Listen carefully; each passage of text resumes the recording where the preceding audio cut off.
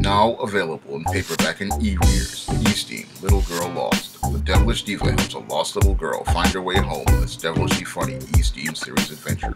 Get E-Steam, Little Girl Lost in paperback and e-readers today. Most black women believe that they are smarter than the average Negro. And because many black women believe that they are smarter than the average Negro, they oftentimes think that they are better than the average Afro American Negro male. And because they think that they are smarter and better than the average Afro American Negro male, they can they think that they can pretty much outsmart this Afro American Negro male. And when they think about having a relationship with this man, they're not thinking about having a relationship with a man who they see as an equal partner. They're thinking about having a relationship with someone they can pretty much control.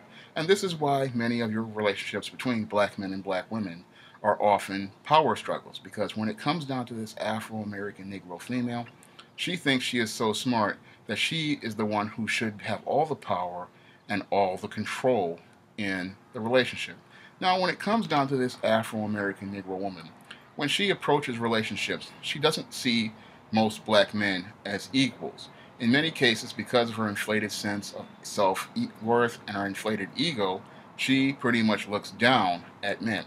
And when she sees the average Afro American Negro male, she sees someone she sees on the level of a child.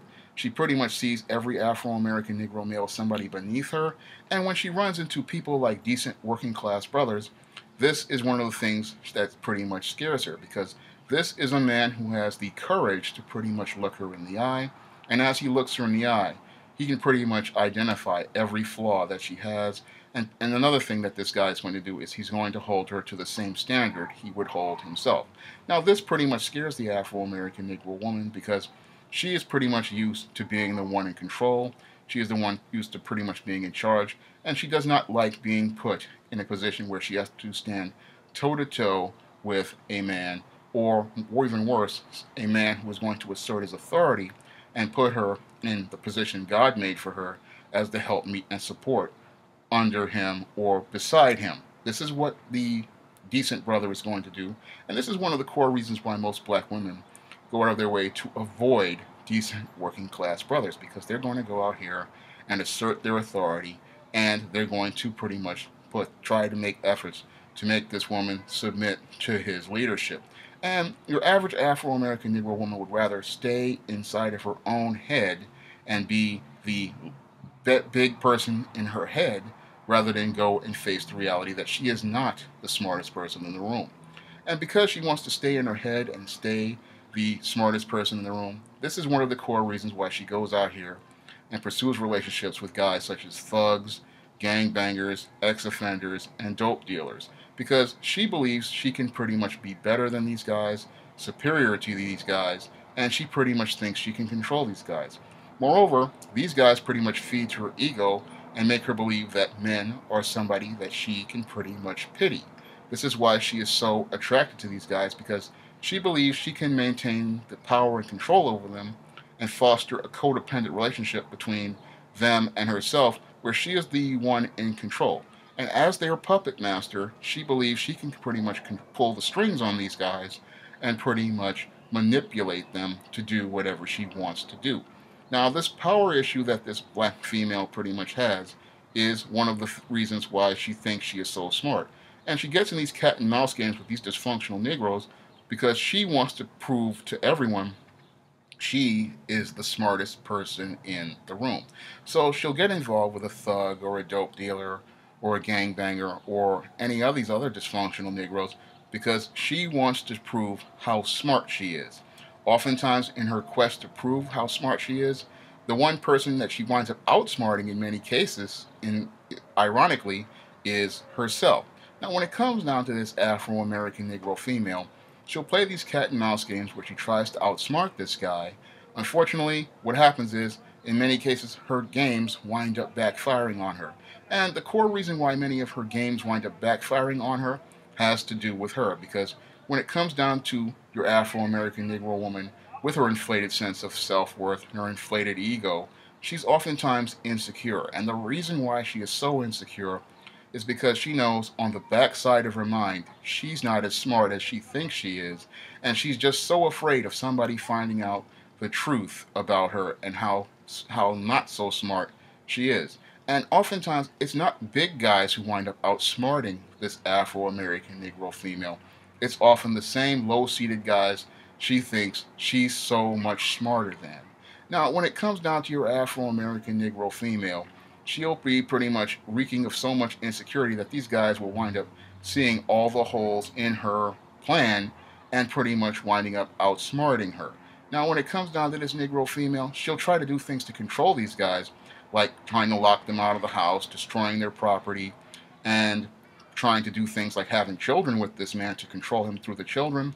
Oftentimes, these ploys wind up backfiring on the Negro female, and this is what leads to this Negro female winding up becoming so angry. So, when you look at this Negro female out here who's always so angry, one of the core reasons why she is so angry is because she thought she was so smart. And because she thought she was so smart, she wound up outsmarting herself. And the person she's really angry with is not that Negro she's oftentimes complaining about. No, the person she is oftentimes angry at is herself because she was so smart, she pretty much outsmarted herself that she wound up putting herself in a dysfunctional situation. And because she put herself in a dysfunctional situation, she now winds up in a situation where her life is made miserable. And the reason why that's her life is made miserable is due to her. But you can't tell this to the Afro American Negro woman because she will not admit any sort of accountability or responsibility. And one of the reasons why she won't admit accountability or responsibility is because she wants to use this Negro as a scapegoat. And she uses the Negro as a scapegoat because she does not want to take that long, hard look in the mirror at the person who pretty much put her in the dysfunctional situation she is in, where she's either messed up due to illegitimate children or she's been pretty much played by a guy. Because what happens with your Negro female that leads to her being in that situation was the fact that she thought she was the smartest person in the room, and because she thought she was so smart, she didn't see the person who was outsmarting her was staring her dead in the face. Now, when it comes down to this Negro female, she's not very smart at all. In fact, all she is is insecure and afraid to pretty much trust anyone. And because she's insecure and afraid to trust anyone, she oftentimes winds up missing out on decent men and great men and men who would pretty much want to work with her because she is pretty much spending most of her time working against herself. And the reason why she's working against herself is because, again, she believes she is the smartest person in the room, and because she thinks she's so smart, she thinks she's going to do something better. But oftentimes, when she goes out on her own, because she has no logic to any of her plans and no reason to them, she often winds up in a situation that is far worse than anything that would have she would, would have been in if she had gotten involved with a decent man. And this is why she winds up falling flat on her face because she thinks she is going to outsmart every man out here. She thinks that she is better than every other man.